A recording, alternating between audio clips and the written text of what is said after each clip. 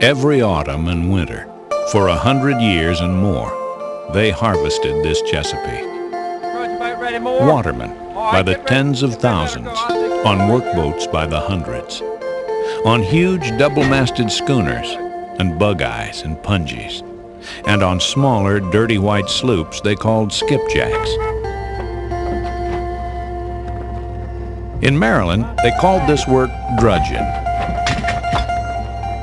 and they still do.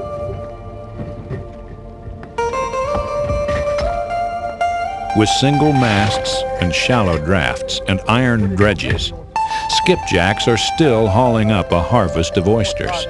But now, it's a dwindling harvest, and hardly anybody builds skipjacks anymore. Just stay away from them rocks, have it made, man.